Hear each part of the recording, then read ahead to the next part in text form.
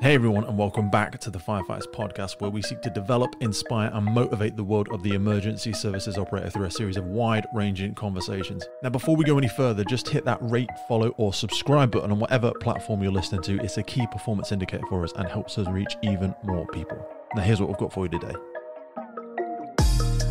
The fire sector or emergency response sector is constantly striving to do more with less, but the scope of the job, the amount of kit on the trucks, the diversity of incidents that crews are expected to respond to is just continuing to grow. We need to be sharper and fitter and much more efficient in all the training that we deliver. And the problem with officer discretion is that if you are you know, a practical based person like myself, the statement that it's an unforeseeable event possibly is a feedback loop with no exit. If we spend long enough thinking about everything, everything's always foreseeable, therefore it's by default not operational discretion. If we called our operational discretion rationalised professional judgment, everybody would understand what it is.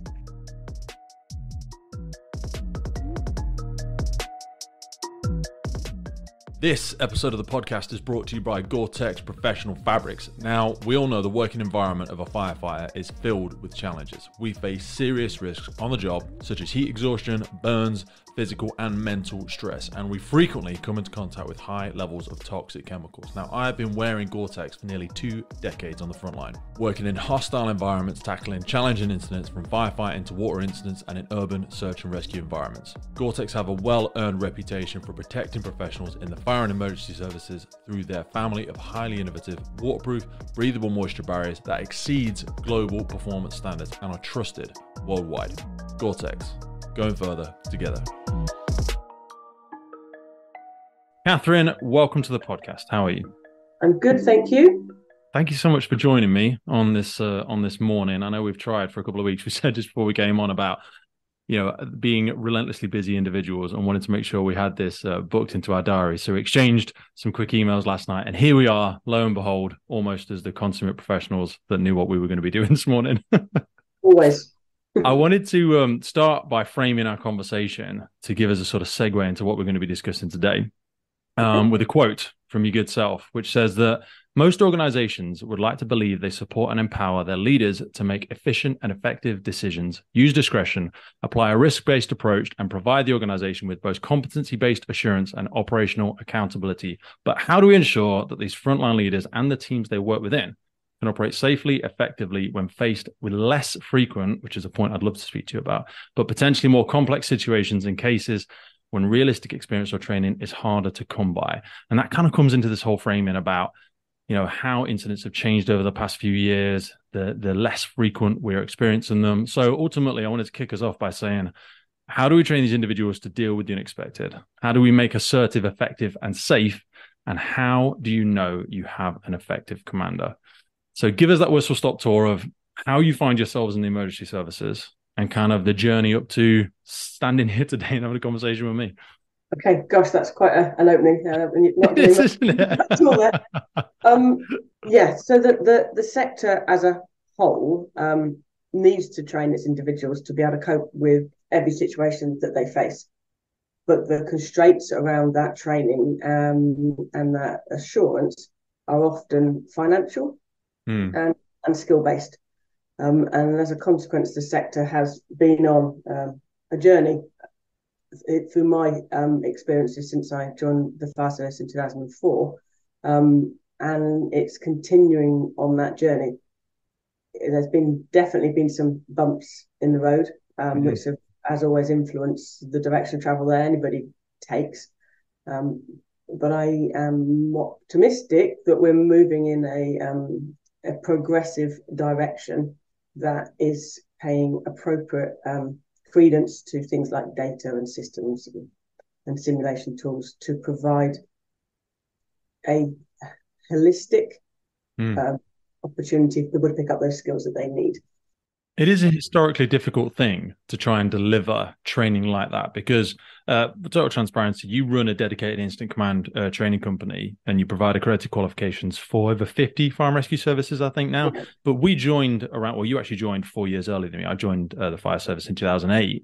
And since then, we have seen uh, a real hemorrhaging, which is actually a positive thing. I think there's been, uh, I was reading, I think, in one of your articles between 2008 and 2018, there's been a 20% reduction in total fire calls. However, in 2019, apparently there was a small annual rise in fires attended. I'm not sure if that was uh, some of the heat waves and some of the other incidents, but obviously over the past five years, we have had some really significant incidents. While they may be few and far between, you know, we still hear the echoes of the Grenfells and the other really large incidents that, that some of the UK Fire and Rescue Services attended, and layering that upon, as we spoke before we came on, the hemorrhaging of skill sets, the changing of the guard, the colossal amount of retirement that we're seeing across the UK Fire and Rescue Service. It's why I see the work that Effective Command does as so crucial now, because that kind of mentoring, training, uh, learning journey uh, for people on stations across the world, but certainly in the UK Fire and Rescue Service, that is becoming not only a sharper learning curve, but also with almost less help and resources and people to be able to facilitate that. Yeah, absolutely. The um the, the fire sector or the emergency response sector is constantly striving to do more with less yes. all the time. Less, less tagline. less money, um, less time, but mm. the scope of the job, the amount of kit on the trucks, the um, diversity of incidents that um, crews are expected to respond to is just continuing to grow. Mm. As, as a consequence, we need to be sharper and fitter and much more efficient in all the training that we deliver. Mm. And that's coupled with the juxtaposition of um, on call retained crews having a much higher churn rate or retention rate of personnel than they did 10, 15 years ago. Mm. And the sheer number of crews that are crew members that are needed to maintain the availability of that appliance. Mm. So that it's getting more and more diluted every step we go forward. Um, and it just makes the the challenge of credibility and quality of all that training um, needing to be maintained. It's it's a real challenge. Mm. One I think one thing I think that is um, partially going in our favor because you spoke before um, the aspect of direct entry, which I know is something you're supporting with, consulting on, and trying to bring um, as, as a subject matter expert, bring that extra bit of help or resource into that sector as well.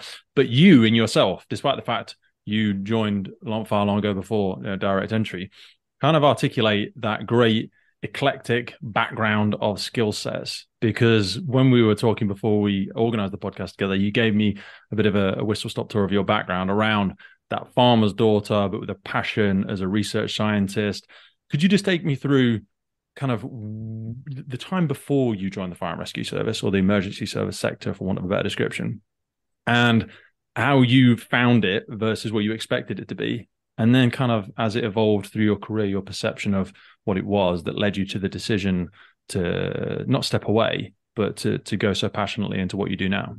Um, okay, so starting right at the beginning, um, I am the eldest of four children, and we, we live on live on a farm um, and very much a practical, um, pragmatic approach to solving most problems. And a length of baler twine can usually repair most things. Um, and, as a consequence, quite hands-on, practical um, kind of person that you know would be found, you know, you know mucking out horses. Um, Christmas Day, we Christmas didn't start till the cows had been sorted. You know, all of that uh, appropriate I agree. I've tried to artificially create that for my daughter because we have three dogs and three horses, but we live away from them. We've got a few acres about 15 minutes away from us. But you're so right. That kind of can do attitude, character building aspect of what a person develops like in that environment, I think serves them so well for life. Yeah, it's that appropriate balance. Um, so that was uh, my upbringing. Um, I then went to university to become a research scientist.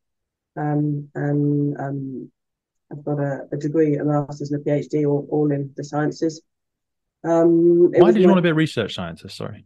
Um, I like solving problems.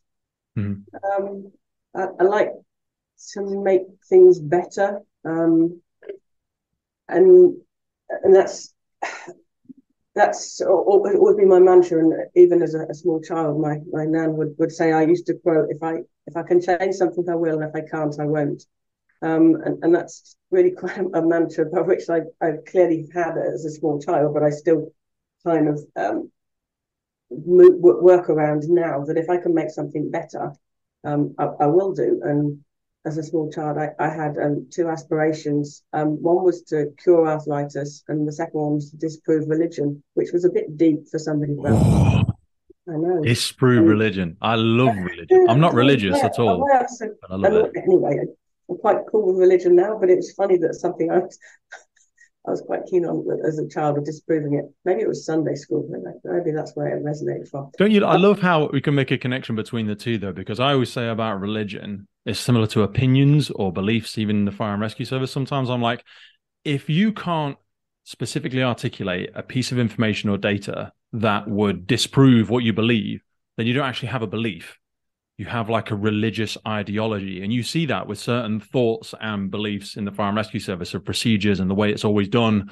I'm like but what, piece of information would disprove that to you? If they say nothing i'm like well there's not a logical thought process that's taken you to that belief then with all due respect to, to the religious aspect in that yeah no completely and, and i think the um passion about science and data and um having an answer, an explanation as to why things have been done in that particular way, mm. kind of connected those two thoughts even at a very early age. Mm. Um, and so that, that's how I, I went into sciences. Um, and as up during my second postdoctoral research position, I became very disillusioned by what it was I was endeavouring to achieve. Um, research scientists, science is funded predominantly by grants that principal researchers apply for to get mm. a bunk, bucket of money to do a particular hypothesis. Mm. Um, and regardless whether that hypothesis gets disproved very quickly in that chunk of funding, you have to continue roughly on that direction of travel, even though you might just generate more and more data to to confirm you've disproved. Oh, okay. that makes any mm. sense.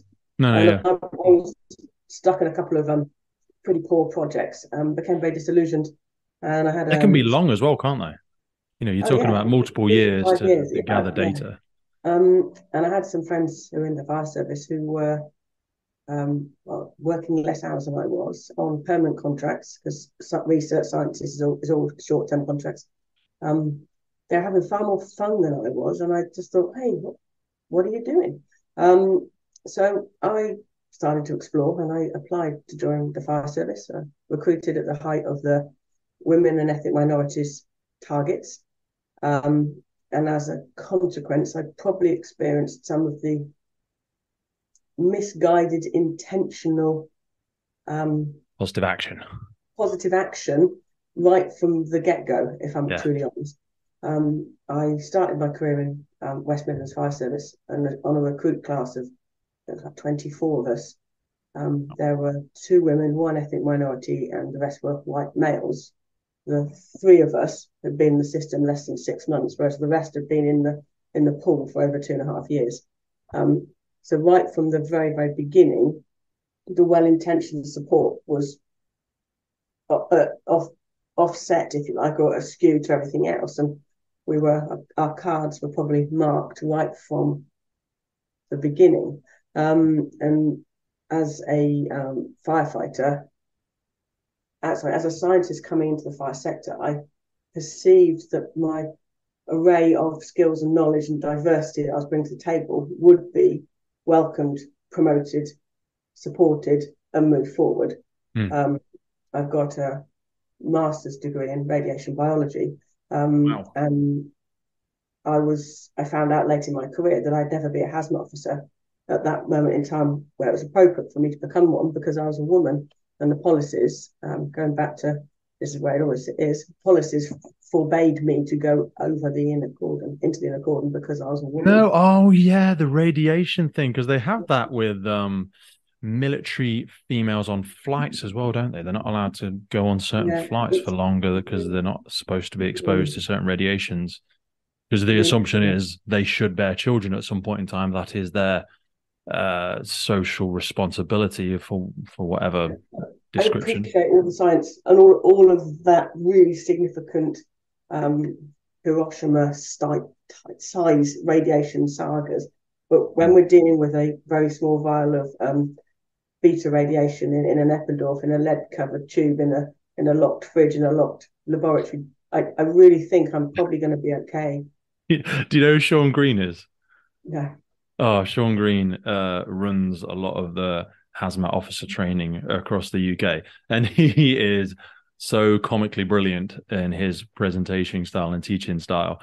And he gives a great analogy, and I will ruin this, but I know you may be able to clunk through the fumble that I talk about. He says, Radiation's a bit like sunlight, and sometimes he says, You don't go outside and get all covered in sun, and then you bring sun inside and cover somebody else in sunshine.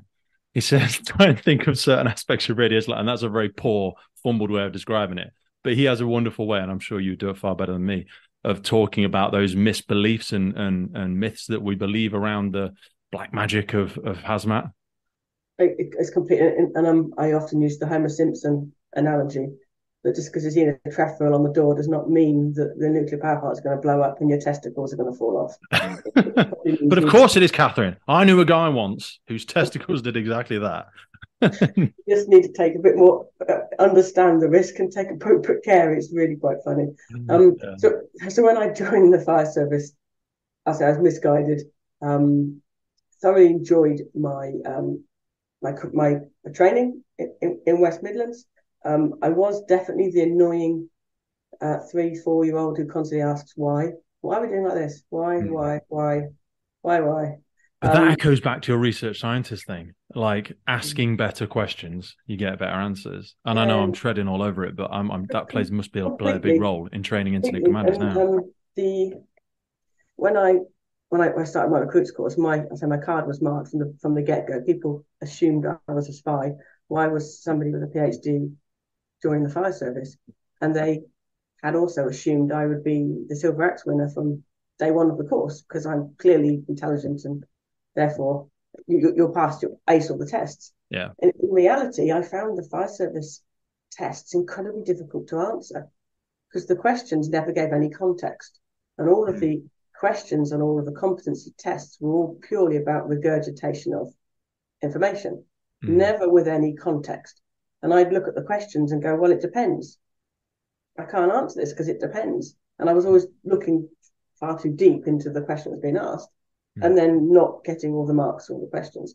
And, and again, that's something that has resonated through my journey with, with the fire sector because the, the fire sector likes to, or at least it did, likes to produce robots and clones mm. who perform things in a consistent fashion, mm. who don't have to think to solve problems. And then that takes me sort of to what I'm doing now, where you give them some stripes on the shoulder and, and you ask them to keep people safe, but you've not empowered me or taught me how to make decisions. You've just been disempowering me from mm. the rest of my career, and now you suddenly want me to switch it on. Um, yeah, we almost the road um... that was crossing, and now you want me to walk across the road at any. How would I do that? yeah, we allow that muscle to atrophy, don't we? And then, and then, ironically, get frustrated people's lack of assertiveness or personal accountability or inability to make decisions, even from managing their teams and leading their teams, right up into the very crucial aspects of decision making on the incident ground. And we don't inherently sometimes realize that we have caused that muscle to atrophy, um, yep. probably accidentally.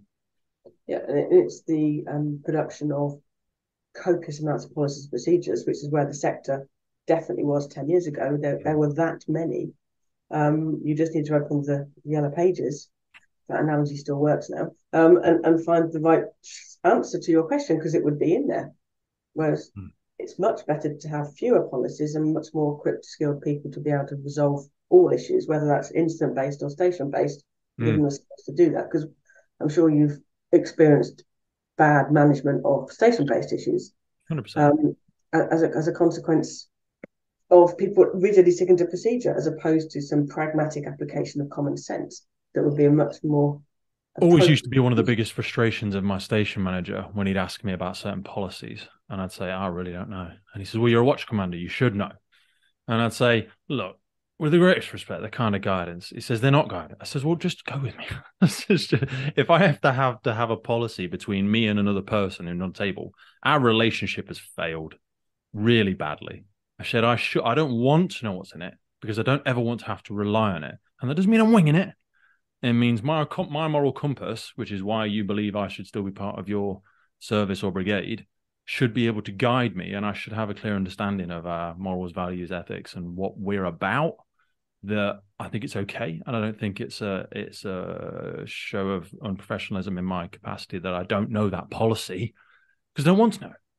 Yeah, because I don't want that to be because that's a stick. I'm just going to hit people with a stick, and I'd much prefer not to use that. But this is also where I see when people struggle a lot with when national operational guidance and stuff first started coming in, because we trained people to a specific procedural approach to things, and people were like, "Well, that's a bit woolly. What am I supposed to do with that?" Well, I don't know what I'm going to do with it, and I'll be hung, drawn, and quartered if I just enact my own version of this guidance that you keep referring to. And that's been a very difficult journey for a lot of people, I think. Oh, really bad. Because we gave them the crutch and the framework that was the policies and procedures. And then we've slowly put them through the shredder and hmm. not necessarily replaced it with training no. to um, support that decision making processes. And often also those that decision making situation has also been audited by people who, who were maybe more ingrained in the rigid policy procedure architecture and then coming in and critiquing your performance or management of the situation using going back to using the crutches that are no longer available, but yet you're now being measured by them. Mm. It's the old um, uh, meme of the person with the clipboard going, I don't know how to do your job, but my clipboard says you're doing it wrong. So, talk to me about the evolution through your career and then decision okay. uh, to, to so, create effective command. So, I started um, in West Midlands. Um, when I was stationed um, to Blue Watch Central um, back in 2004. If you've ever been to Birmingham, Blue Watch Central is a sorry, Central Station was the flagship station for West Midlands yes. Fire Service. It's the Beautiful. big one, right in the centre of Birmingham, and um, it, it was uh, painted the, the sort of historical picture of a fire service with yes. lots and lots and lots of bay doors. I think it had 15 bay doors, cobbled streets. You know, it was the the the greatest station to be, and um, I was uh, um, stationed to a watch with um, a, a, black guy, and we were the poster watch for the service. We want every uh, social media post trying to get you to ride every fire engine for the picture. Because we painted the beautiful image of. they never quite got that, did they? And some people are getting closer, but they said we want diversity. What they actually meant was we want people that look different but think exactly the same as we do. And I'm like, that's not, that's no, you missed it. You got so close and then took a sharp left hand turn before you arrived at where we were aiming for. Yeah, um, but the, the watch were great. I had a, a spectacular time. Um, I had some um, individuals on my initial watch who were resentful at a woman being posted to their watch. Really? I think I, I think I became number thirty in West Mid. So it was it was very early. Lots of them hadn't hadn't seen women before the station. and we um it's almost when you when you realize you're counting them, that's probably a bad sign. Yeah, I think I was about number 30. But we were still mixed dorms and and that kind of it was all fine. The guys were great. They put me through my paces. Yeah. Um, and once I had proven that I could drag the heaviest of them out of the, the basement up the stairs, and yes, my techniques might be a bit different to theirs based on muscle physiology, but I, I, I, I was accepted into the fold. Um, had had a, had a great experience. Uh, was informed that um, my pay would increase from whatever probationary slightly more than nothing. Qualified pay by completion of this workbook. How long does workbook take to complete? Well, most people take three years.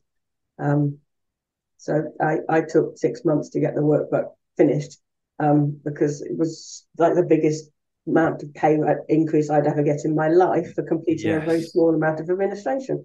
I think so it's nine thousand pounds now since the pay was, rises. Yeah. So I, I, pulled my finger out, really got it done, um, and then oh, now qualified firefighter. Now what do I do? Um, I think I've been in eighteen months, and already people were asking me about getting to get promoted to crew manager, and just like no, it, it's a no. It's a no for me. I want to want to learn trade, cut my teeth. Um, so for that point, but I, I, was always living in Manchester whilst I was working in West Mids. Um, I did the awful thing of transferring home. Um, then worked in um, Manchester for a good couple of years. Um, during that point, uh, my partner and I adopted um, some children um, of school age, and that's a long process. A long process. That's that's a long process. But I, I mentioned that because it was a key point of my sort of career journey for loads and loads of reasons. Um, anybody who has um, had to go through the process to, to adopt children will realise quite how intrusive that is on your mm. personal life to justify that you have the right skills and strengths to support these damaged individuals um, with their life. Um, but you also become, when you've had the children placed with you, you have to become a very astute communicator and very, very intuitive at reading situations to um, manage manage situations you could you, you wouldn't ever possibly anticipate they're going to go so left field so fast yeah, yeah. that you have to have this sixth sense um, and the, the, communication skills to manage uh, in our case we had had four but not all at once but very different individuals with very different needs and um, academic abilities and emotional damage and trauma and you you have you, you become a very able communicator as a consequence of that mm. that I, I mentioned that for that reason um, so when I was, I was in Manchester, um, we adopted the children. Manchester then brought in their um, five watch system, which was really particularly bad and the most unfamily friendly system they had they could ever have conceived, where you could you start. I don't know if you're aware of the the, the watch pattern. Yeah, yeah, I am. So yeah, you'd start the year having 300 plus hours, and they could call you in to fill that that void when you're on your short notice shift. So an hour and a half notice, trying to get night shift cover for three small people um, was impossible. It just could could not do it. So at that point, I then transferred back down south. You can't um, comprehend the echo chamber of meeting that must have been when that was put together it, there must have been um, such low diversity in terms of family situations and life circumstances, which led to the uh, to the agreement to implement something like that. Shocking! It was just shocking. Um, but then took back to talk about numbers and diversity. I think when I transferred to Manchester, I became number sixteen. Congratulations! So, yes. Um, so yeah, so uh, I think it's like that, when you're at headquarters and they go, "Wait there, HMI." roll out the diversity. Can you go get number 16, please? You just think, for yeah, God's sake. It was, um, it was like that, really. So, uh, but I think that possibly influenced the, the lack of appropriateness of that five watch system when they brought it in. Hmm. Um, But anyway, so that, that then brought me back down south, um, came back to near family, um, great family support with the kids, all of that jazz. Um, then moved across into Oxfordshire Fire Service, um, spent some time on station. Um, went from a, I was posted at um, Bolton Central when I was in Manchester, where we are doing 15 shouts on a night shift, and then went down to Oxford, where we sometimes go a whole tour without turning a wheel. So the contrast was quite phenomenal. Mm. That wasn't the only contrast. Um, when you are on a busy station, busy watch, the training is grabbed in small segments to maximize application of skills with mm. kit. Oxford, loads, loads more focus on theoretical knowledge and content okay. around equipment because there was the time. Um, and it was an observation that I have reflected on since I've left the sector. Um, and I think it, the other comparison would is also down to the demographics of the organisation. Manchester's predominantly wholetime. I think they may have one retained mm. station. One. It's, it's, very very few. Whereas Oxfordshire is majority retained mm-hmm. stations. So the training principles back then were quite different. Much more about consistency and similarities and consistent okay. powerpoints, and less so about the individuality that trainers might bring to the table with being able to flex their own skill set to manage sessions mm. and the strengths of the team as opposed to the conformity that wanted to be evidenced. Um, one story I always tell is about um, the Holmatro kit. So say Manchester was very much focused on the use of the, the kit, worrying about safety considerations with kinks in hose, techniques, holding the tools, like cutting the roof off, etc. Yeah. I remember being um, get put on an orientation around the truck doing locker drills with somebody who'd been assigned as my mentor. Really smart, clever, switched on chap. Um, and he's going around the kit and he pulled out the Holmatro pump and put it on the table and he said to me, Kath, what can you tell me about this? So I started telling him about the practical use of it, where the fuel goes, the oil, you know, the practical stuff. And he went, Riff coat it. That's rubbish. Function, construction, operation. This is what we do with it. That's how it's made His of. level of knowledge about this pump went down to the thickness of the paint on the box frame around the you, pump. You lose me there. I, I think that's that's an unnecessary. Phenomenal amount of information that he had retained. Yeah. That I would never ever be able to emulate because that's not my way my brain works. Mm. Um, but he'd clearly been assessed on his ability to remember and regurgitate that information, otherwise he wouldn't have attempted to put it in the first place. Mm. Um, which, again, is it was another poignant step on reflection of, of my journey, because I don't feel that's the most appropriate way to train people to practically use equipment or no. manage situations but it's very easy to mark. Unless you're going to be part of a tender process or work in an appliance sector, or like I say, submit a national tender, or you're going to make a change to legislation or safety requirements. I think that level of information and detail, because the irony I always say to people is, you drive the fire engine. And they say, yeah, yeah, I'm a driver on watch. Wonderful. Tell me how an internal combustion engine works. And they go, what? Tell you just said you're a driver.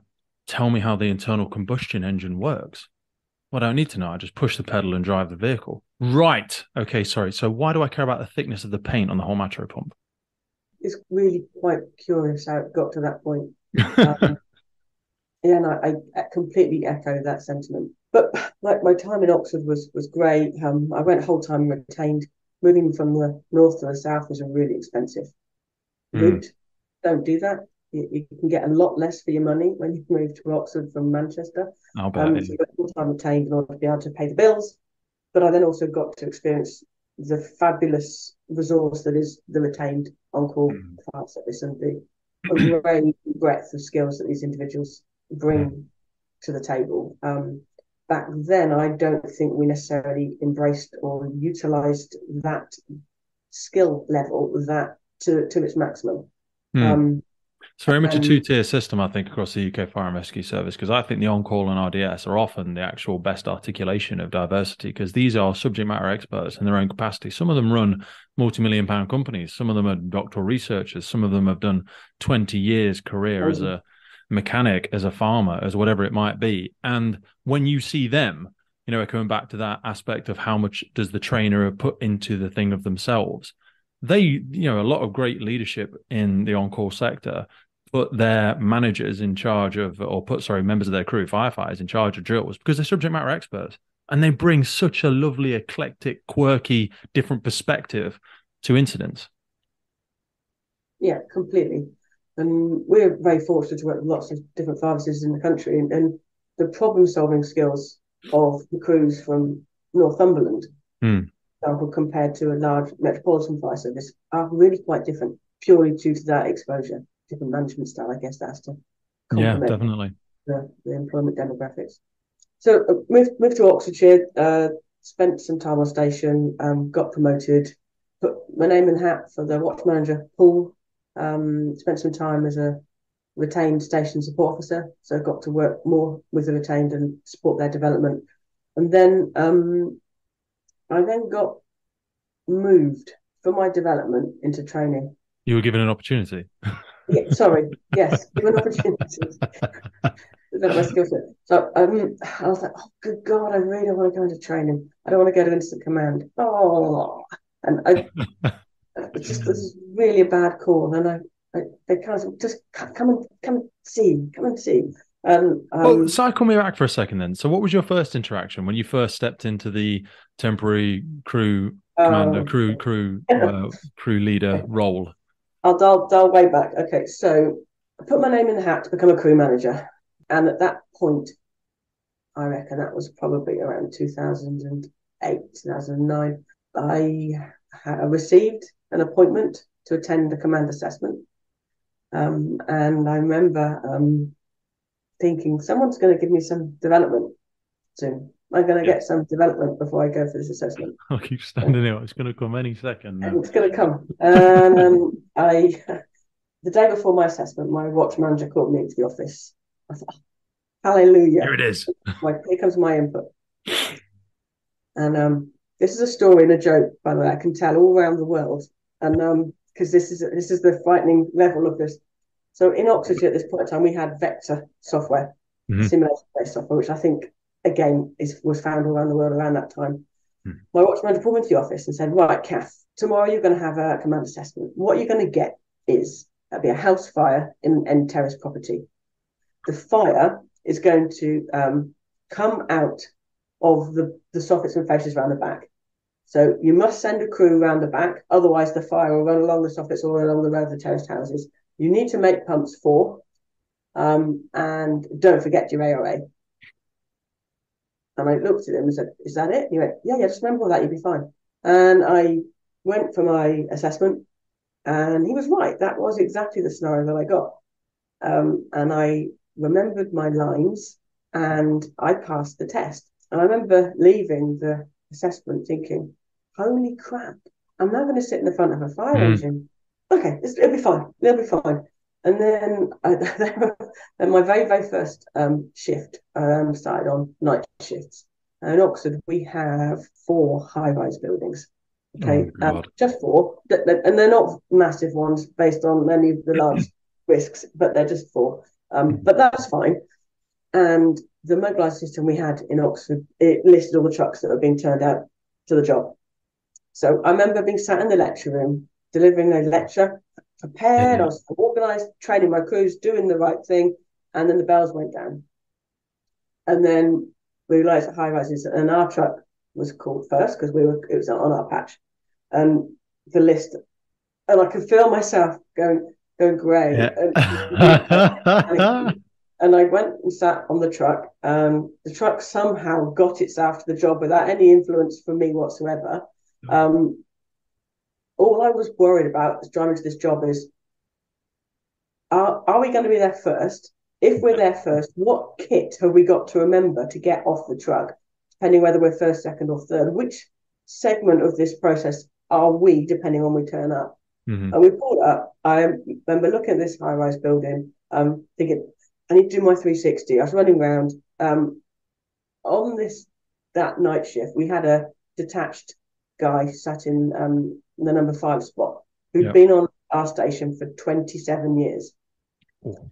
He just got off the truck when we pulled up at the building and he walked into the building, had a look in the weed, the biffa bin, the bottom of the bin chute, confirmed it was on fire, dragged the hose reel off, dragged the bin out, sorry, dragged the hose reel off, open ended it into the bin, and then came and told me to put the fire out. I was still in full headless chicken mode at the front of the building, trying to work out what the hell it was I was supposed to do first. What's the evacuation plan? Where's where where, where do I put the bridgehead? What's the what, do I do I do I secure water? Do I go aloft? What where am I doing? I was stuck in complete and utter decision inertia because I Claire major incident. what was I supposed to do first? And and that I feel is just so wrong. Yes. So, so wrong. And as a sector, definitely back then, the focus was on assessment. Mm. Only, only. I'll teach only. you how to pass the test, but I won't show you how to think. We had some really great guys in Incident Command Suite in Oxford at the point I was assessed who are trailblazers and still trailblazers for Incident Command training. And mm. they openly admitted that there were so many failings in what they're trying to do, but what what they had achieved was way better than what we'd previously had. Mm. And whilst the vector software was very had huge limitations, it was again distinctly better than what we'd had. So it is the whole that evolutionary journey. But I definitely felt very ill-equipped mm. when I dealt with that incident, and back to that tried from that point forward to improve my knowledge. How though? Because I mean, for me, I just did it by um, sitting and doing tactical decision making exercises, watching YouTube videos, and then saying what if and what if and what if, and then trying to do that with one or two other firefighters at the time who were yeah, going exactly. through a similar process. Essentially, it was down to you as an individual to. And we didn't get paid for it. because again, with the greatest respect, a lot of training development departments in that period of time, despite their own desires, were predominantly assessment centres. They weren't training centres. They wanted to be, but they weren't given the resource or the freedom in a lot of instances. No, and it wasn't through lack of passion to make things no. better. It's just mm. the, what the drivers were at the time. But um, it didn't discourage you. You didn't throw your ticket in, so you obviously no, I didn't. I kind of stuck it out. So take me forward to when you were given the opportunity to go into the incident command um, yes. sector. So I came into the incident command um, department and um, started doing some stuff with them, and we started. We were using the XVR software by mm. then, and um, it's, it's, a good piece of kit, super flexible, um, can deliver really good scenarios. And I and I learned the skills to deliver, deliver and design assessments we had a, an assessment uh, tool recording system in place that had been developed in house um, in Oxford, and the um, the system would generate data. Okay. Some some data, not nearly as much as the effective command does, but it generated data. There's 20 questions that we would assess against, all directly aligned to the NOS. Um, and these numbers were put into an Excel sheet. And I asked why? Because we put them in an Excel sheet. Uh, okay. Uh, nobody ever looked at these data, or these numbers, and I then the academic in me was reinvigorated looking at this this information. Uh, I said we really ought to do something with this. You've gotcha. There's all kinds of trends process, we can pull from that. Assessment process um, that was being openly shared within um, the fire sector at the time. Um, people did not know where it come from or why it looked like it did. So I was given permission um, to write a paper. So I think that was back in 2014. We wrote um, a paper on the assessment tool and the initial data trends that we had back in Oxford. Um, and we called it the introspect model. Um, and the paper was um, published in an academic journal, and then it was started to be read around the world as a consequence of um, its publication. Even uh, that language, sorry to interrupt, must have been foreign to a lot of the people you were working with. Because if you said, "I'm going to write, I'm going to write a paper on this," they probably um, thought, "What?" and like put it in the service local like messenger thing, or put it on the weekly update or something like that. And you said, "No, I'm going to publish it in an academic paper." So what does that mean? No one's going to read it. Um, we attended an XVR user group. So XVR is a simulation software that annually holds a, a UK user group and hmm. it's hosted by a different fire service each year. And uh, the trigger year, it was hosted by Northants.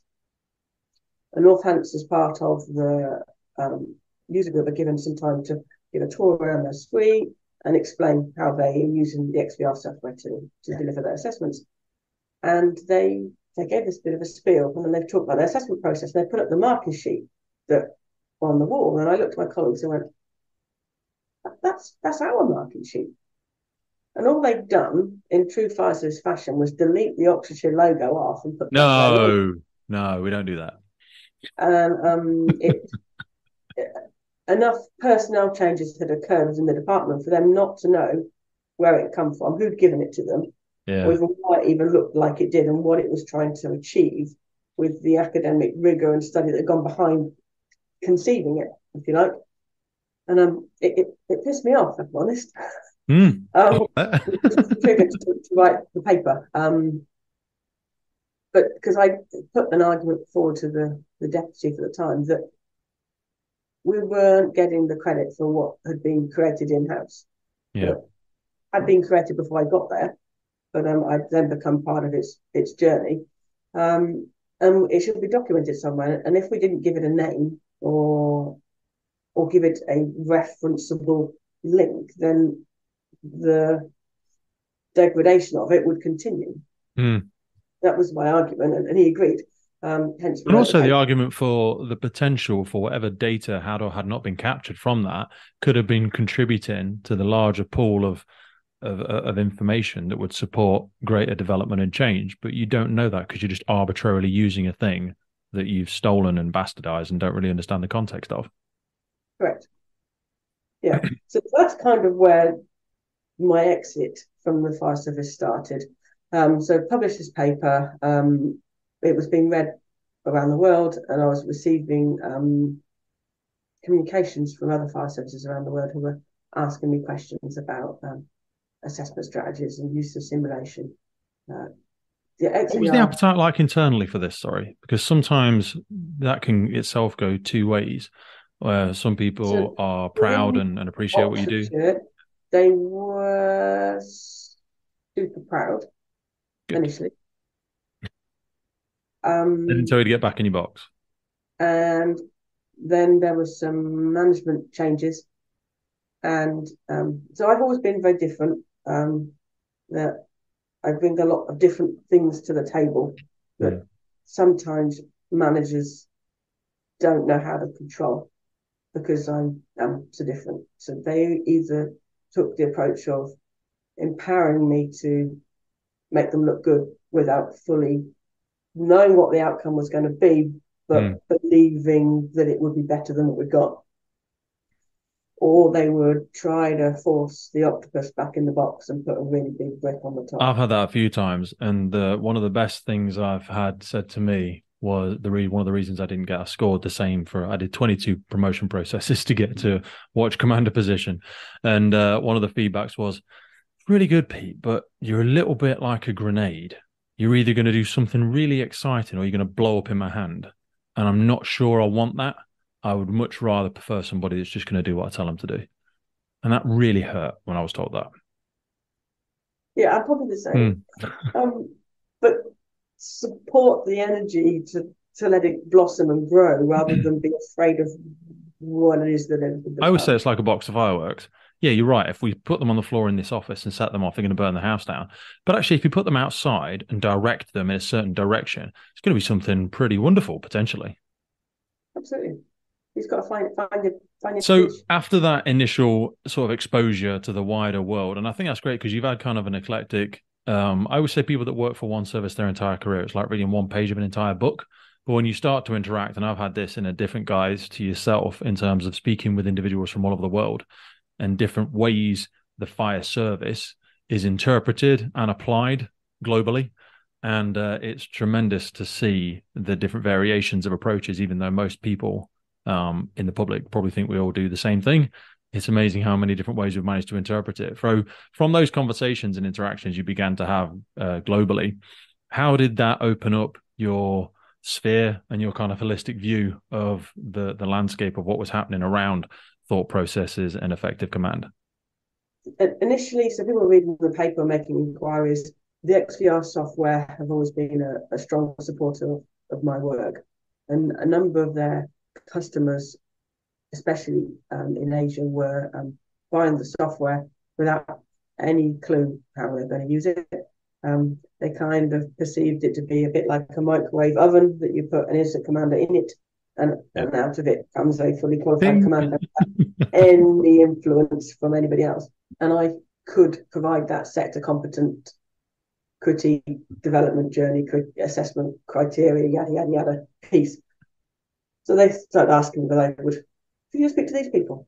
And um, through that uh, sort of exposure and interaction, I became aware that there was potentially a life for me on the other side of, of the fence. Um, I was also at a tricky point of my career where um, old pension scheme about to migrate to the new, about yes, to look, you know, doing committing to a lot longer time, or, or it, it, it was a crossroads for me, and the um, external interest in my skill set.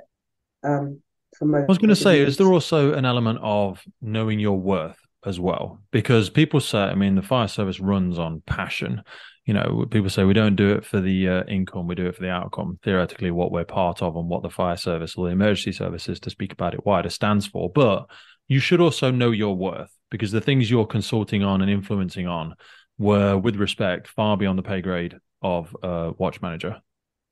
Yeah, um, but like like you, I didn't necessarily conform very well at um, emotional processes um, because there was a very fixed, rigid assessment criteria and scoring for um, certain things. I, I was um, temporarily promoted to station management department um, and then went had to go through a station manager board. One of the substantive posts was the one I was sat in temporarily, and there was only me that could do the role that I was fulfilling.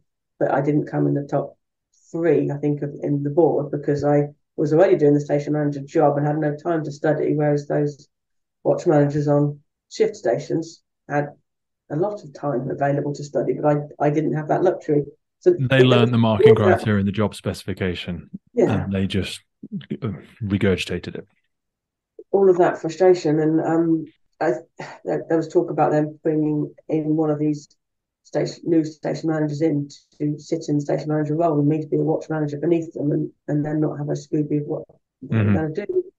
Um, and lots of these things were influencing my position. That that never happened. I, I, I remained in the temporary post, and they um, would like to believe that they were working towards a solution to leave me in post, but it, it didn't need to materialize because at that point I decided to um, exit stage. How did you come to because there's that moment of you know, that pain point, for want of a better description, where you go, you know what, there, I'm going to go for it now. Because you've already alluded to partner, growing family, complexity at home. Everyone has their own version of complexity, but that is not i don't want to skim over that because that's a colossal decision um, in itself to lose it, a, to step away from a guaranteed thing that's going to be there forever and and jump into believing in yourself really. I was definitely at a crossroads and being able to pay the mortgage was a, a an essential component of of that crossroads I um, attended the Interschutz um, conference trade show in 2015. I don't really know. On my list, I've never been. I'd love to go. Um, if you're a, a fire nerd, it's kind of like Disneyland. Um, I know. I'm told. um, so I, I, went. I went to attend the show, and the XVR guys said, "Come and just hang out on our stand for a bit and just see, just come and see what it looks like on on the other side." So was this um, not part of your professional capacity? Were you invited to go privately? So I, I, went in my own time, not in uniform. It's a little bit controversial, but I went in my own time, not in uniform, representing myself, not my organisation. I do that all the time, and people try and put my service on it. They go, "What service are you from?"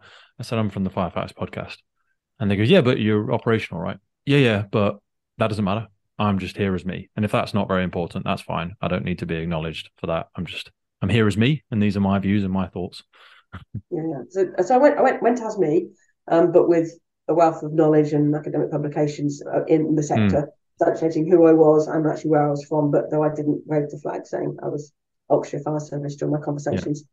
But I met some really interesting people, um, and at one point, one of the founders of XVR, called Martin Bozeman, said to me, "Kath, can you just take this chap Peter McBride down to see the igloo?" I'm like, "Yeah, mm. sure." So have you an igloo? Have you seen those simulation igloo yeah. yeah tent with projectors inside. Peter is also on my list. I'd love to speak to Peter, by the way. oh, Peter McBride? Yes. Oh, okay. Okay, easy. I'll make a note. I'll make a note of that. Sorry, carry on. So Peter took me down to um I took Peter down to the igloo and um, we just started chatting. And within 20 minutes of chatting, he'd invited me to become part of his From Knowledge to Practice project in Canada.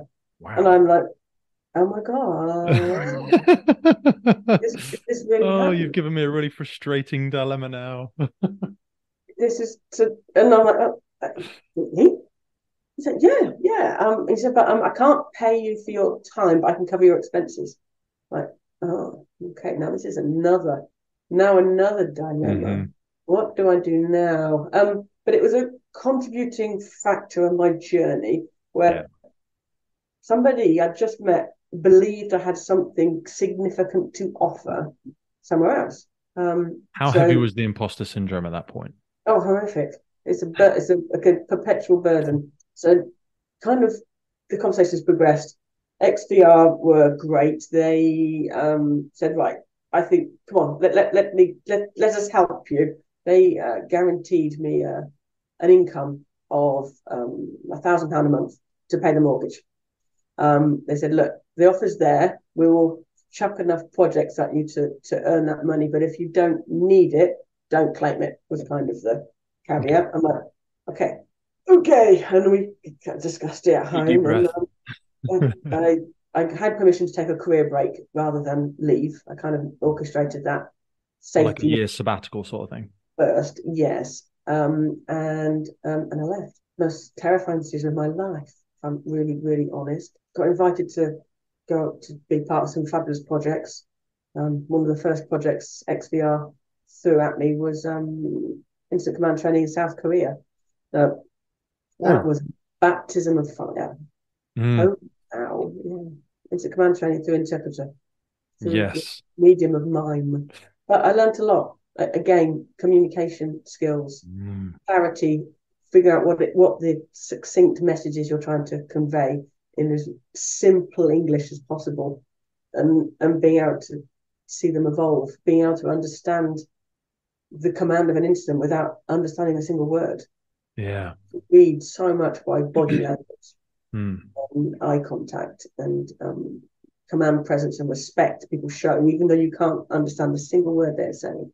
But another pivotal part of my journey was meeting Peter McBride in, in the igloo. It's, it's, mm. it's, a nice anecdotal story. Um, and then being invited into the From Knowledge to Practice project that he was running in Canada. Phenomenally honoured to be involved in that um, international best practice club. Phenomenal people that were pulled in. So, From Knowledge to Practice was a um, Canadian government funded initiative to bring um, CFBT as in simplest terms to North America. Um, Peter managed to source funding from all over the place, some, some really high profile sponsors to devise a curriculum, build, um, to write open source uh, plans for uh, CFBT boxes, training of instructors, the whole shebang. It was all mm. wrapped together. Um, and he pulled me in to do the situational awareness piece, to teach situational awareness to firefighters as well as officers stood outside or inside because in North America they obviously go inside. So th- that was the, the piece I was asked to bring to the table. But through that network, I I met the um the heroes, if you like, from around the world. It, it um it, there's just that 9/11 ex- mm. experts and Jerry Tracy, I heard of him from from FDNY, mm-hmm. John McDonough from uh, Australia, Shan Raffel from Queensland. Corral. All of which we've had on the podcast. Incredible people. just uh, uh, again, I'm not really sure why I was there, but they were freaking awesome people. I've sat in a couple of rooms where I'm like, oh my god, what am I doing here? Someone's going to ask me a question at some point in time. Do they realize who I'm not? Yeah, they're going to kick me out soon. Um, it's, it's, okay, I'm still here. But yeah, amazing. Um, and, and it it helped broaden my broaden my network and also gain a bit of confidence, I guess, that I had something to offer.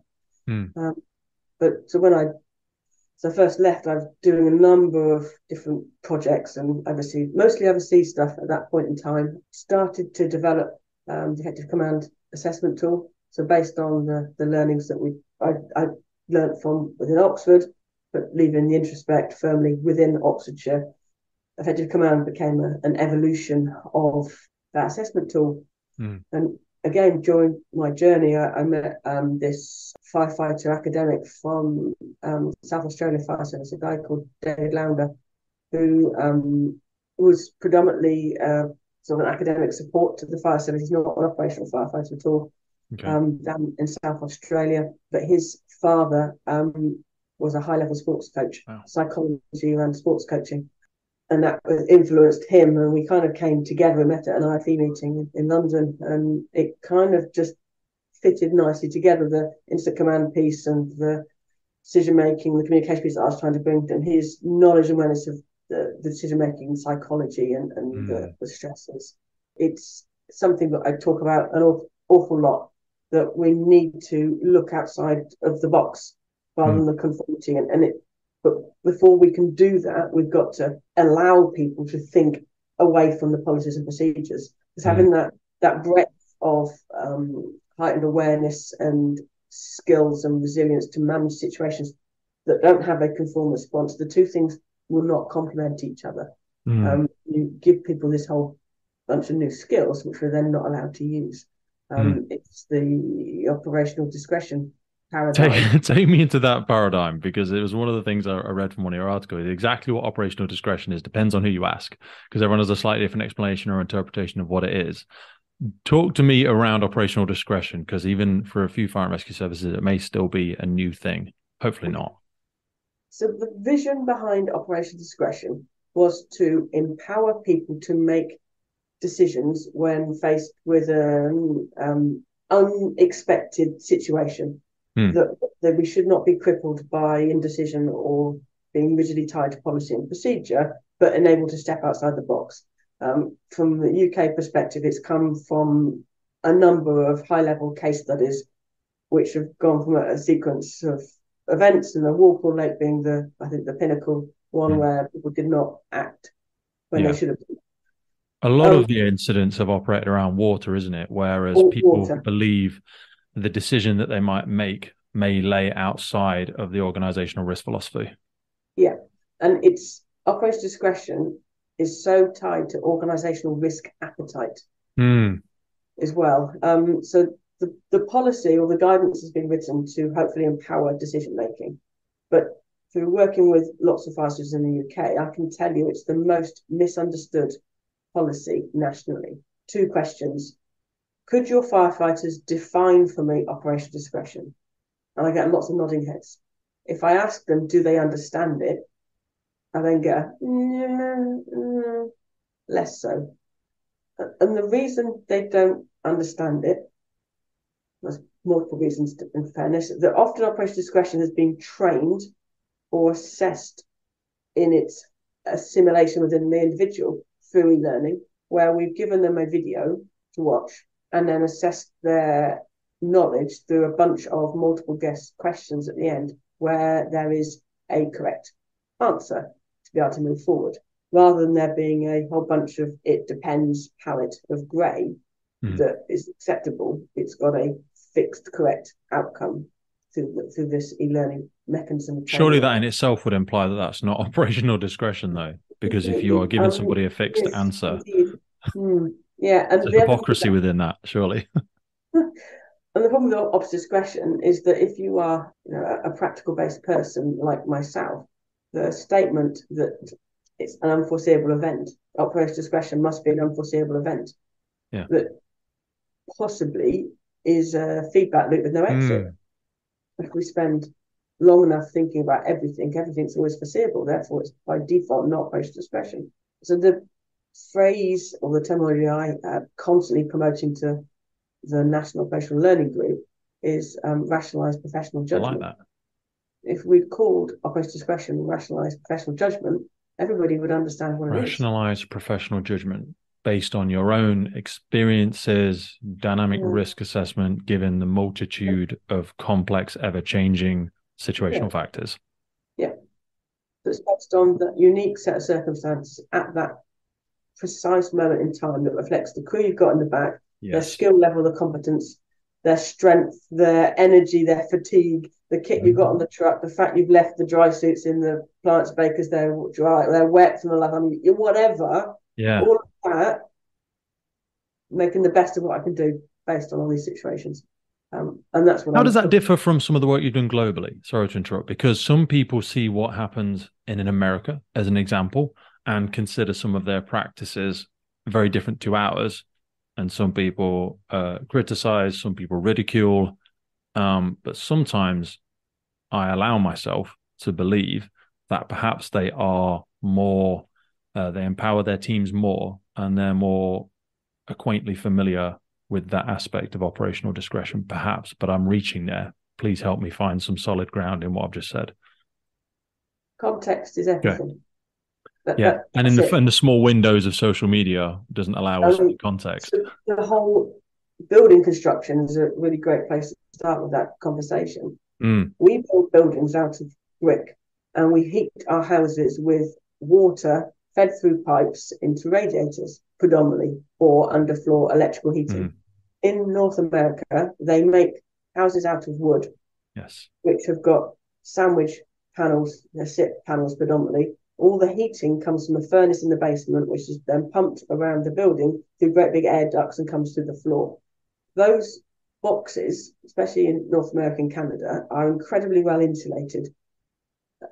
They could not put fires out like we do because the box in which the fire is contained is super different to the boxes we've got at home. So I think sometimes we make judgments of you know why the hell are they on the roof? Why are they cutting a hole in the roof with a chainsaw? Mm. Um, they've often got no bloody choice other than to to get some of that heat out. Yeah. Um, they talk about balloon frames and cocklofts, which are fabulous words. but you know, balloon frames are cavity walls with foam in, so the fire goes up between the, the two plywood panels. Cock lofts are what they call um, connected uh, roof spaces on a whole row of houses. So their actions are different because mm. of their building construction. But in order for us to interact with the conversation and to try and understand the logic in the scenario, we make several assumptions just to try and get ourselves in the same framework. But yeah. even the assumptions we've made to get us to that point have led us into our own bias where our own logic isn't going to correlate to theirs. Yeah. There's some things they do that are really, really strange. Um, yeah. Okay. But so um, equally, so do we. We because we can't justify the reasons behind half the things we do. Sometimes we just go because that's what it says the, in the procedure. The, the, pressure they put on their um, platoon chiefs or district chiefs that respond in the in the command cars is phenomenal because mm. they're, they're one man, one person doing accountability, as they call it, for entry control. Um, they manage all of the command support function all of the administrative forms, all the recording of who's where, while still going to talk to people in through the window. It, it's phenomenal. So then I think that's crazy, and I, I, keep having this conversation with them that it's um they need more support. It's going to come undone. Oh, gotcha. Um, but the then sending com- commanders into the building. Um, yeah, it, it's we sort of do it. We have uh, BA team leaders who go in and offer a high level of knowledge of, of building construction and understanding of techniques and, and feed that back. So there is there is distinct similarities, but the the um, some of the actions though of North American firefighters, especially in, in America, um, are also linked to organizational culture and mm. the um, societal value that they place on firefighters. You are a, a hero from mm. the, the moment you put that uniform on and if you are, if you die at any point whilst being employed as a firefighter, you your name goes on a plaque at, at the fire station. Uh, Most heroes are dead, unfortunately. Yeah. And yeah, I think there's positives to that because culturally, and some of this off the back of 9 11, of course, they are much more patriotic and they're much prouder of their first responder community, I think, than we are over here. And that's part of the reason for the podcast, really, because I think that's quite sad because I think we still add the same level of value, but are not held in the same regard sometimes. Yeah. I Talk to me about operational accountability because it's something I've heard you speak about before. Because we do live in an age of litigation and we see some of the tragic ends and questionings. We can take our minds to the Grenfell. I'm sure it all looms in our minds seeing those people being questioned on the stand. And we try and well, we need to be comfortable with the ability of our personnel and assure that they can be qualified and confident to make these decisions. But how do we actually train people to attain that level of confidence? Okay, so when I was in Oxford, um, we had the Atherstone on Stour incident, which mm-hmm. obviously was very close by to us. Um, and as listeners will undoubtedly remember, the commanders were um, held accountable for their decisions. It, it went to a, a court case. Um, it looked like the incident commander was going to be charged with manslaughter for the death of the, the four firefighters. From an incident command perspective, being a key member in the department at the time, um, the resonance from that was phenomenal. Mm. Because had they been prosecuted, had the individual been charged with the death of those four individuals, it suddenly puts transfers that accountability really firmly onto the, the shoulders of, of the officer. Mm. And then as a consequence, the quality of, of training needed to be more robust, I would argue. There will be a knee jerk and an over index on how things are delivered. But from an organizational perspective, the accountability sits purely in uh, have I got competent, qualified people? Mm. Um, so the priority immediately following that incident and led by what was um, Chief Farrell at the time was about command assessment, assessing. For people that are unfamiliar, sorry, so that's the Chief Fire Officers Association. Yeah, um, that to um, document that, that people were competent to be mm. able to make decisions, so that if a similar situation occurred and the chief officer found himself on the stand, that they could say, yes, all my people are qualified.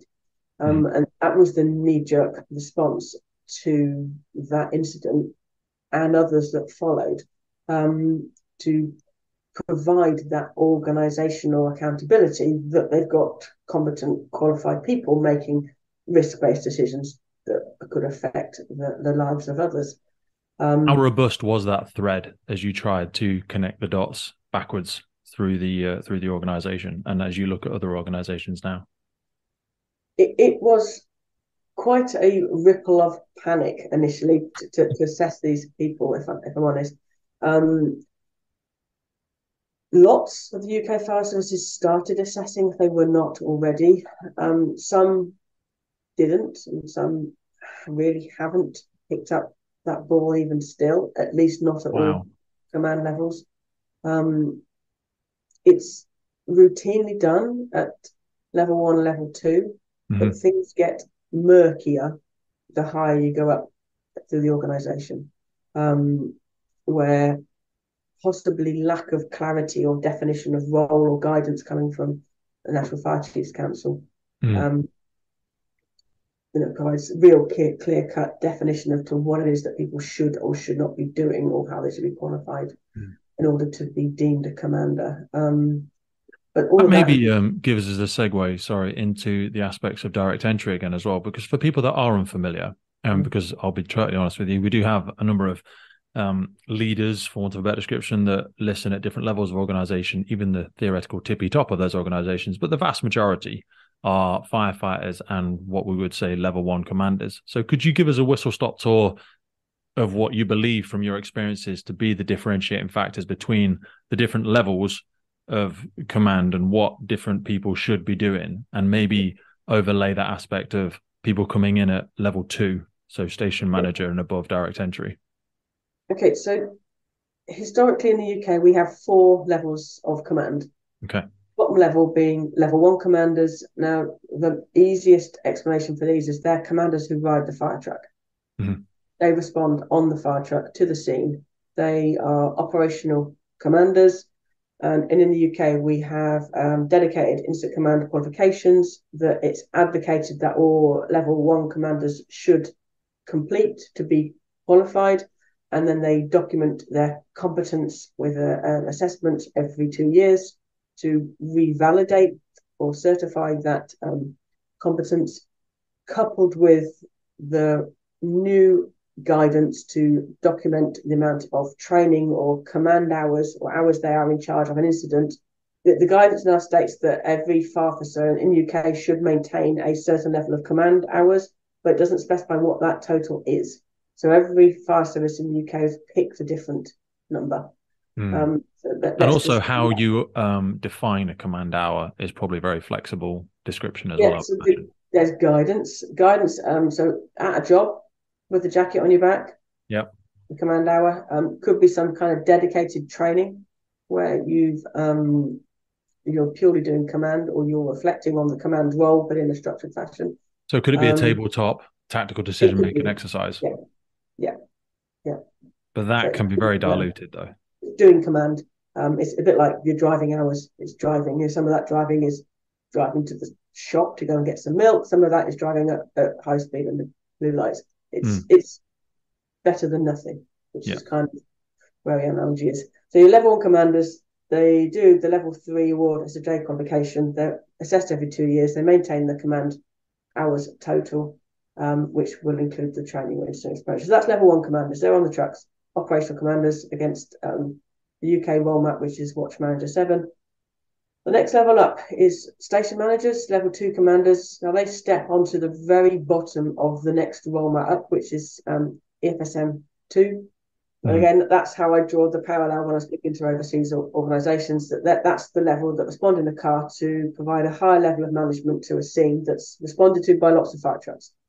So in the in the UK, again, we've got qualifications SFJ level four award qualification in instant immediate incident command. They've also got to maintain their command hours and to be revalidated every two years. So level two officers, bottom end of EFSM two. The next level up is level three officers. So they are still in the same role map, but they're dealing with bigger incidents. Mm-hmm. Yeah, so still boots on the ground. Again, there's um, a qualification for that level of command. There's revalidations of command hours And then the highest level officer, the level four officers, they're really complicated because they have one foot in tactical on on scene and one foot pure purely strategic in, in the strategic command group. Yes. Looking at the more social and economical effects yes. of some of the larger incidents. Very so, rarely will they go to scene though. Obviously at Grenfell there's a multitude yes, of level four commanders. Really but... complicated. So hmm. the advice I give to any of my customers is that if your officers could go to scene, you issue them with fire kit, you mm. give them a car with blue lights on, and they maintain their blue light competence. They should also maintain their tactical competence to go to sea, because mm. that would negate the um, situation for Dany Cotton when she was on the stand trying to justify why she was at scene. Um, mm. And it's the perpetual discussion about the most senior officer on scene is by default accountable for the decisions that are being made. And if they're not qualified or in ticket to make a judgment on those decisions, then you're in an uncomfortable space. I think that's been one of the um, common themes of concern when I speak to different firefighters and level one incident commanders about this aspect of direct entry, because some of those, so and please correct me because I will fumble my way through this, they will come in as level two officers, but will still be close enough to the tip of the sword, close enough to the furnace to potentially implement decisions that may put somebody in harm's way. Now, I would layer that with the fact that there is a very long development process for these individuals and they will go through levels of development and competency and assessment. However, it still does inherently concern some old hands on the deck that uh, that these people will be so close to the fire, for, if you excuse the pun. Do you think level two is the right level for them to be coming in at? it's all super complicated. I appreciate that. And again, there's no one. Um, um, so, know. in some organisations, they that have got a large cohort of maybe retained or less mm. experienced level one officers, the role of that level two officer when they respond to the incident is to you know support, mentor, monitor those level one individuals, mm. um, as well as possibly take command of that incident if it's if it's going wrong or if it's escalating. Mm-hmm. Now that level two officer at a smaller rural fire service will have to be hands on because there's mm-hmm. not the scope on the um, response rota for them to do anything other than support the existing dynamic that has been developed through mm. crewing levels or um, ability to to recruit people to that retain station. So that role is quite distinct mm. to a station manager role that maybe is in in fire safety or some kind of specialist recruitment role that yes. doesn't need to go to the operational incident. And and it's really quite complicated. So that that direct entry at level two is a really interesting starting point for a direct entry mm. um, project. It is, yeah. Because again, um, even whether or not they choose to take command, echoing back to the Dany Cotton analogy, they will still be overall responsibility yeah. for any actions or inactions, uh, any failure to comply or dangerous activity that might happen on that incident ground. Yeah, absolutely.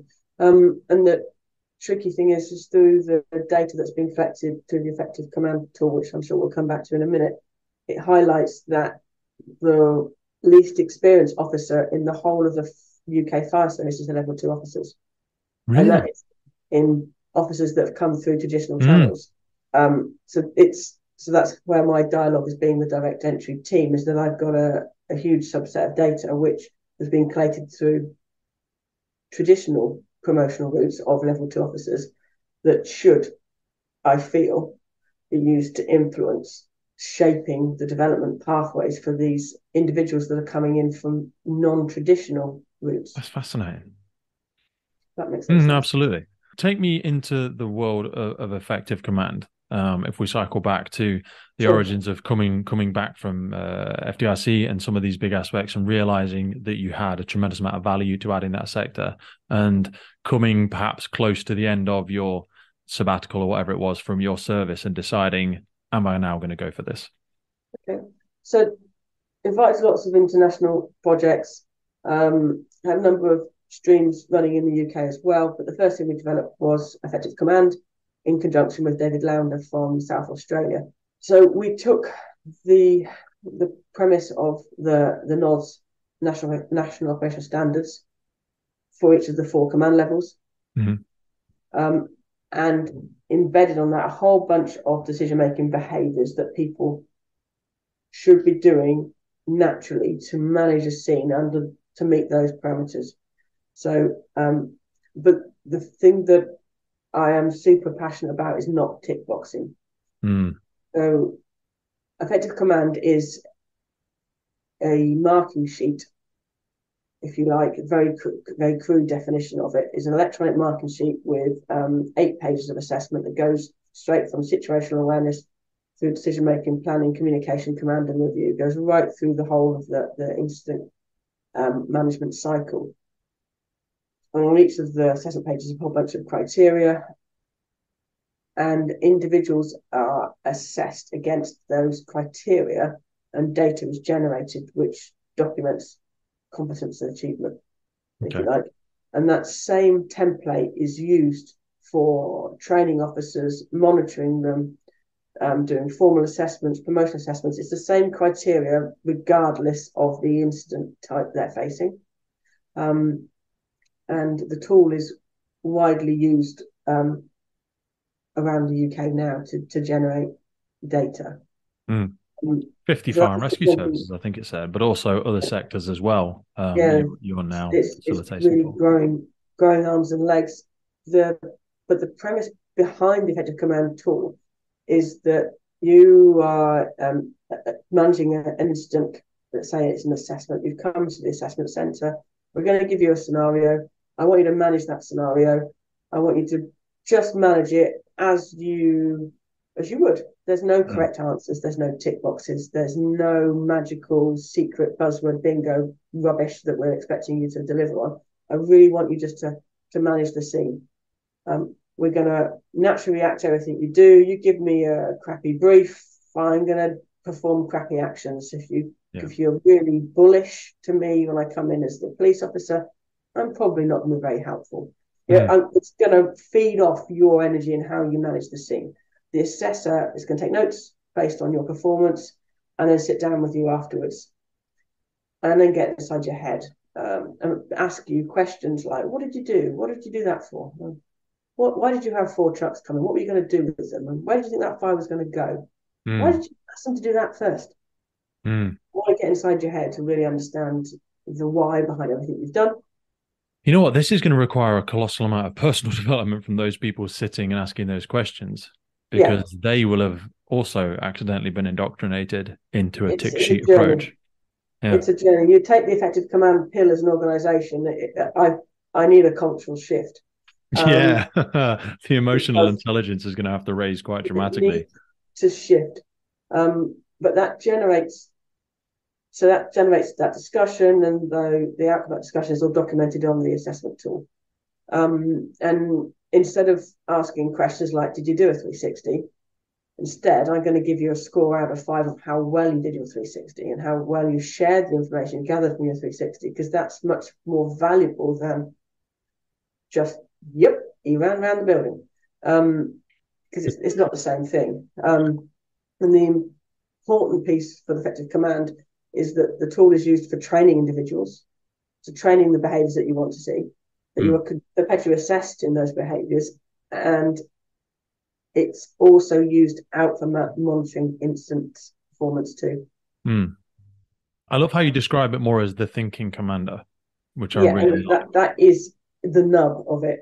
Um, yeah. And it's super important that the philosophy is embraced by the whole organization mm. because it has a golden thread running all the way through the organization. And if you have, you start training people to think what during years at command development and through the post assessments. And then when you get out to an incident, somebody turns up with a clipboard and starts giving you, marking you down for not having the right tabards on, or you haven't got the covering jet out, or, you know, they're, they're, they're making those tip box observations about your actions as opposed to asking you why is there not covering jet out? Yeah. I tell you I've only got one tank of water and I've got two firefighting jets. We'll have a covering jet when the next pump comes in. Mm-hmm. Awesome. that's freaking amazing. And mm-hmm. that, that's what that's what I want. That that level of intelligence. Because historically, we just used to do a thing without a full comprehension of why we were doing it. It was that um, unconscious competence, perhaps. Yeah. and and that's that's what I started to create when I um in the UK this effective command ethos, and it's grown a lot. So we kind of launched it in 2015, 16. It's had a, a number of iterations and updates, and and now we've got seven years of the data within the database. So the data I analyze is only taken from formal assessments, um, and all of the assessors within the country that use the tool have mm-hmm. to be annually standardized by me, where I come in and I I sell the, the thinking commander philosophy and try to get them all thinking uh, appropriately or in a consistent fashion. And we run mm. standardization exercises where we get everybody to corralled into recognizing what good looks like in a consistent mm-hmm. fashion. Mm. Um, often there's organizational differences. So what good looks like for your organization might not be what good looks like for Northumberland or Manchester or Cumbria.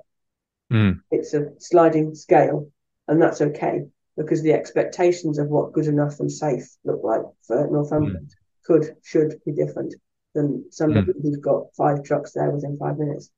The, the, the behaviours are so different that you need to be able to demonstrate. So I get them to accept what three out of five is, what safe and satisfactory looks like to their organisation, and then mm. I can then put all the data in one big bucket and then analyze it because it's all been standardized. That makes any sense. Yeah, no, because if people are just trained to pass an assessment, they can be that's that blissful ignorance as to they don't fully understand why they're doing the thing that they're doing. But that that competence, and I think you have it in one of your presentations, is that knowing what you're doing, yes, knowing how you're doing it, sort of, but more importantly, that that often missing overlaying circle of knowing why you're doing it mm-hmm. um, leads to that individual becoming competent and then developing that unconscious competence where they develop those good habits, which can inevitably lapse uh, over time, perhaps. Yeah. Through an experience. And like I say, we have a, a significant less exposure to incidents these days. Absolutely. And you're aspiring to have a metacognitive workforce. Mm. cognitive has a conscious awareness of the things that are doing that are right. So they're intuitive decisions. They can rationalize why they're doing them and, mm-hmm. and that's really what you're looking for. Um, mm. and, and, we've got a lot of data now that um, I've analysed recently. With, um, I'm presenting to the National Operational Learning Group next month um, about the trends within within that data set. But the weakest spot is the level two commanders. Um, we've got a graph that, that makes a lovely um, U shape. The station manager role, I would argue, is the most difficult in the organisation. Mm. It's the biggest step up um, you have a long time to practice being a level one commander through typical channels. And when you step up, you've almost got to look, you keep an eye on what's going on at the incident as well as looking looking out wider picture as well at the same time. I think one of the big things that gets missed there as well is you lose the biggest level of cultural support that you've always had because you step away from that watch culture. Yep. So your your ability to cross reference, have a sounding board, you know, gain different input from from a wider group of experiences falls away from you because you're operating by yourself in an office in a one person car and you lose a lot of that. It's a lonely place. Mm, I bet. Um, and that's the, the you know the, the, conversation I've been having with the direct entry team is, team is about appropriately supporting these individuals. Mm, God. To, yeah. to manage within that dynamic and whilst really thoroughly embracing the diversity that, that of the skills that are coming in um, and empowering those individuals to um, to be quote to quote hot fuzz the, the greater good. Um, I think it's really important. Greater good. greater good. Um, yeah, yeah. So I, th- I think that's it's it's going to be a very interesting project. I'm not directly involved in it at, at the moment. Whether that transpires or not, I, I'm have a good relationship with a number of the of the teams that are working within it and being invited to be involved in, in, conversations about the development of that. It's an incredibly exciting sector at the minute because I see this from the evolution. We're we're due to have um, Sabrina uh, Cohen Hatton on in about five or six weeks' time. I'll, I'll, sit down with her, and obviously she was involved in some of or a lot of um, some of the models that we'll be more familiar with over the past 10 years. Um, but when I look at the applications of effective command now, it's not as though we're stepping away from models from the past. But when I look at like the SPA decision making model and different aspects like that, when I look at the applications of effective command, the obvious ones are the practical training scenarios and simulation based command uh, training and assessment tools.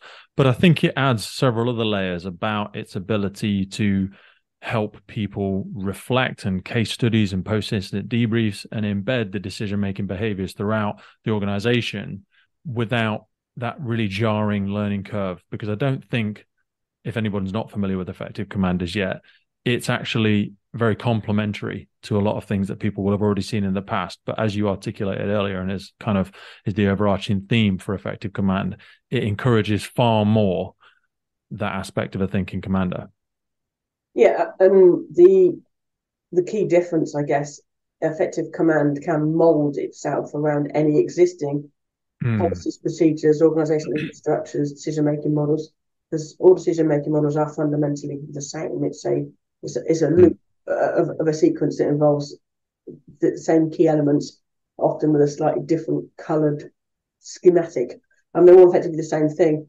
But um, I can drop effective command into other countries very easily, and it's the philosophy around the training ethos, and and I can map it to other professional standards. We've got projects running in um, in Canada and Singapore, Norway and Sweden at the moment regarding effective command, and literally the language fits.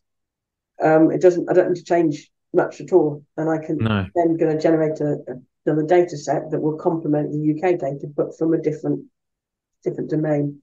Um, we've also had conversations with police and ambulance services as to whether the philosophy would work. And yeah, it would. actually, I think the assessment criteria don't actually need to change.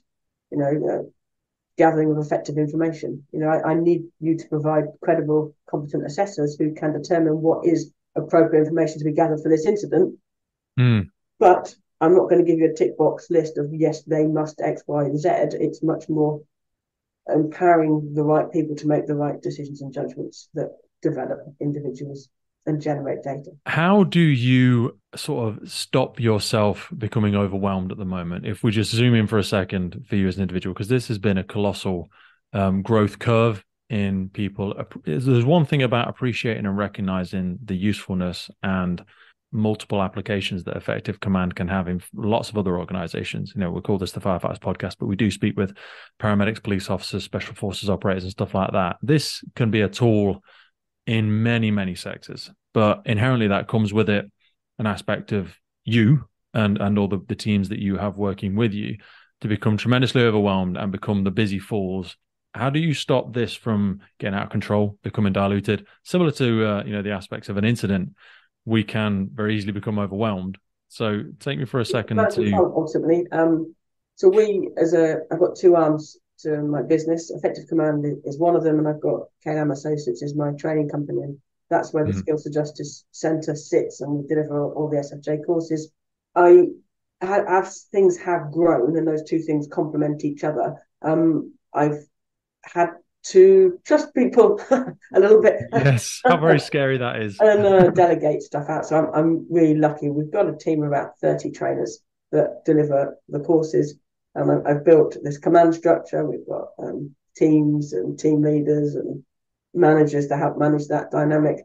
Um, it's something that um, I have been slowly um, building over the last 18 months. Um, effective command has really picked up since since the command house recording piece has, has come out. Um, the the the training portal videos that, that accompany the the toolkit are phenomenally useful, and, and people use them all over the place. So the effective command tool has usage has picked up, and and it's been complemented by the training courses, and and I have had to, as a consequence, take a step back from the um, course delivery. I, I, was doing an awful lot of course delivery um, three, four mm. years ago, and now I, I do very little. Um, I, I have to take a more strategic role within the company. It's been quite painful, if I'm honest, but um, I, I bet it has. Have. You have obviously navigated it well though, because you seem to have been able to carve out time in your diary to speak to knuckle dragging firefighters like me. it's a learning curve. Um, but yeah, I've got a, I've got a big team, um, which is great. I'm incredibly well supported both in the office and, and by our delivery team, which um, has freed up time for me to move into other projects, which is great. And I've got um, a really good friend of mine um, called Bethan Morgan up, up in Staffordshire, who's the civil contingencies lead for Staffordshire. And she has this mantra. She's another very busy lady, but um, if not me, then who? If yeah. not now, then when? And um, I, I, oh yeah, look there, it's on your arm. literally tattooed on my arm. and I'm How like, very sad. Oh God! I would encourage everybody not to get it tattooed on them, but I think it helps. Uh, uh, uh um, but it then results in me picking up more work, um, which is, yeah, this is it's just fun. It's all fun, and um, I always think it's it's nice to frame some things rather as I get to rather than I've got to. You know, these these things are an incredible um, I want to say privilege, but also well deserved in in your respect. Um, but it still can be incredibly overwhelming and can force you not to pause and reflect and go, "Wow, very proud of how far we've come and how we're adding such tangible value to something like first responder community that genuinely, without being too romantic, are out there making an incredible difference every single day. And you're giving us the tools to be able to do that in a more structured manner, which I'm eternally grateful for no, and it is a, a tremendous privilege, and um, I am very very humbled by the process and the journey and, and the privilege that that, being invited in to, to help maybe shape organizational growth and um, empower quality training of, of individuals to hopefully better equip them for life. Really. I think it's never been as needed as it is now, and I think we're very lucky and would be quite lost. Uh, I'm sure if it wasn't you, someone else would be trying to fumble their way through. But luckily, that's not the case. So, Katherine, I'm very grateful for you. And I'm very grateful for the two hours you've spent with a knuckle dragon firefighter like me, guiding me like the infantile child through some of the complex conversations. And I thank you for forgiving me for what I've probably got wrong several times during our oh, conversation. It's, it's been great fun. Thank you for the opportunity to come and speak with you. I'd be remiss if I didn't, for people that are still unfamiliar. Obviously, we'll put links to Effective Command in the notes. Um, but if people do wish to uh, become more familiar with the materials or interact with one of your, your member of your team or perhaps even yourself, what would where would you direct people? Yeah. What would be the best place? Contact details are all on the, on the Effective Command website, so that's the best place okay. to go. Beautiful. We will link Effective Command in the notes below. People can see that on all platforms. Awesome. Katherine, thank you so much for your time, and I'll teach you soon. Take care. Firefighters podcast is put together to develop, inspire, and hopefully even motivate those individuals who have chosen to serve our communities and be part of the first responder family. It's brought to you by myself, operational firefighter Pete Wakefield. If you have enjoyed today's episode and you want to see the podcast continue, please head over to our Patreon page where you can support the ongoing efforts of the podcast. Please hit that follow, subscribe, or rate button on whatever platform you're listening to. Please support your emergency services responders, and thank you for listening.